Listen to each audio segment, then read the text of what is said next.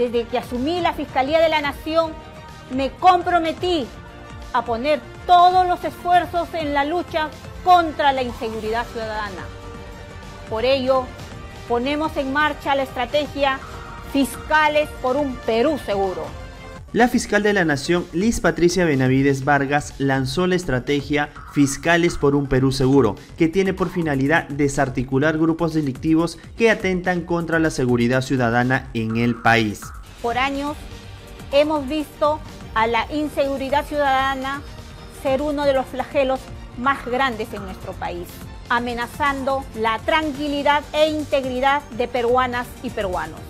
Y en los últimos meses hemos sido testigos de cómo la violencia impartida por bandas y organizaciones criminales ha recrudecido a través de extorsiones, secuestros, estafas, sicariato, entre otros actos ilícitos, poniendo en riesgo a familias enteras.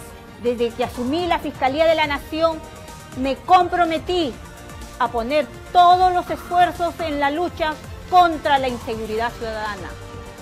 Por ello, ponemos en marcha la estrategia Fiscales por un Perú Seguro, con la que enfrentaremos delitos con acciones firmes y decididas, mediante operativos liderados por las Fiscalías de Prevención del Delito contra la criminalidad organizada, ciberdelincuencia y penales, con el objeto de desarticular los grupos delictivos desde su origen. Con la estrategia Fiscales por un Perú Seguro, trabajaremos articuladamente con instituciones fundamentales para identificar las zonas donde surgen estos ilícitos, las cuales sirven como centro de operaciones, porque ningún delincuente encontrará impunidad a sus crímenes, mientras los fiscales enfrenten la inseguridad ciudadana con investigaciones firmes y céleres hasta lograr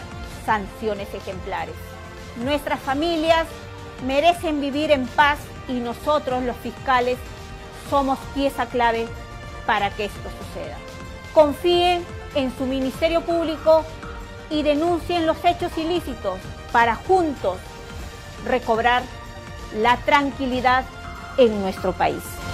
Recordemos que la Fiscalía está siendo muy cuestionada por la población peruana, pues por la falta de acción u omisión del Ministerio Público se han dejado libre a presuntos delincuentes en innumerables ocasiones.